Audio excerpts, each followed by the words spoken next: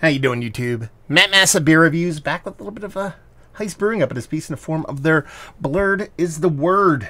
Yeah, this is a hazy India Pale Ale coming in a balmy 6.8%. This was canned four weeks ago. No, five weeks ago. A little over five weeks ago. Comes courtesy of my boy Oak Ridge. He dropped a box off. And you want to talk about service.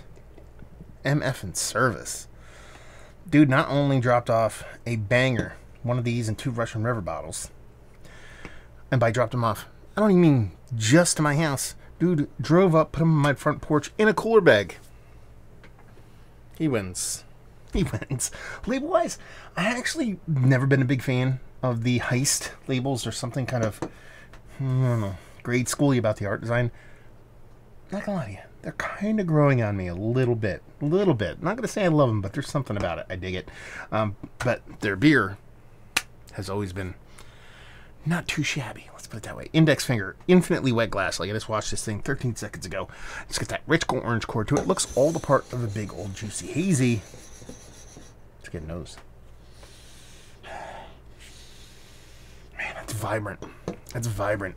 Like vibrant. Uh, orange juice just above like a orange juice like not getting to orange julius or juicy um like um orangina kind of level but it, it's eking in that kind of direction. There's this nice kind of i want to use the word minty but i think i'm going to change that kind of hoppiness to this.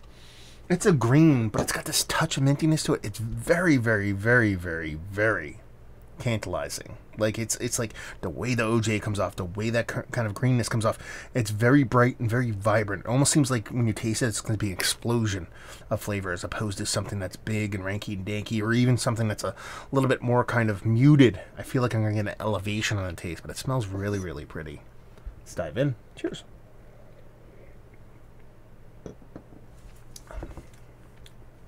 I mean, that's pretty much what you get. I'm not going to sit here and say it's like jumping out of the glass. It's definitely not less than what you're getting in the nose. So that that that fruited portion of the show is all the OJ Arbol does. It's definitely that full um, on some pulp OJ with a dash of kind of tang in it. Just a sprinkle of tang in it, like an MSG for OJ kind of thing to bring the vibrancy and bring up that kind of orange juice. That green portion of the show probably gets a little rinky dink, but nothing too crazy probably more like a beaster weed as opposed to a super nuggy weed. There's a nice bittering component to it too, though, so it's not kind of like like pulling punches when it comes to the bittering side of things. It's got a really nice mouthful. I'm not gonna sit here and say this is like super soft, water nerdy, turbid, or not even turbid. I wouldn't even use that because I could use that in a negative sense. It's super sultry, kind of creamy kind of IPA, but it wants to get there and it's getting close to it. It's really tasty, man. This is a really, really tasty IPA. 6.8% drinks in the appropriate ABV level, appropriate impact level for its ABV. There's even this kind of cool, like, minerality to the water. I feel like there's like a, it's like almost like an untreated or specifically treated kind of water to it that adds this kind of added component. Eh, eh, not necessarily like gose level saltiness, but there's something to it.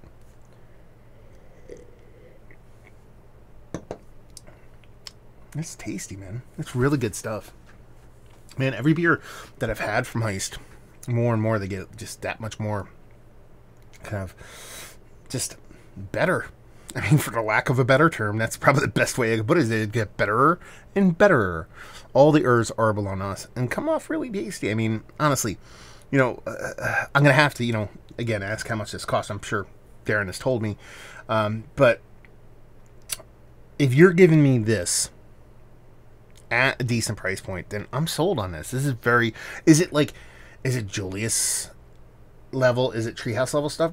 Uh, certain beers, but on their, their best days, I think Treehouse has definitely got these guys beat. This is better than Trillium, apparently, everything is right now. But I mean, it's just giving me that soft, rich juiciness, along with a nice, purposeful bitterness, and a really nice package that if you give me at a decent price point and relatively easy availability, obviously if you get the beef from that area, It's good stuff. If you like good haze, you'll like this. That's pretty much what I'm trying to tell you. Is it one of the better hazies I've had as well? Yes. Mount Rushmore status eating towards the top. Valiant availability, no idea. Oak Ridge, please let me know what's what and leave you with if you like what way you like this beer. If you like good haze, done and done. There you go. Hopefully, you guys enjoyed our review. Um, let me know if you've had this. Let me know what you thought. Uh, Massive Beers, if you want to check me out doing the social media stuff. Beer Massif, if you want to check me out doing the whole podcasting thing. Hopefully, you guys enjoyed the review. Hopefully, you're enjoying a little heist right now. Hope we'll see you next time. Cheers.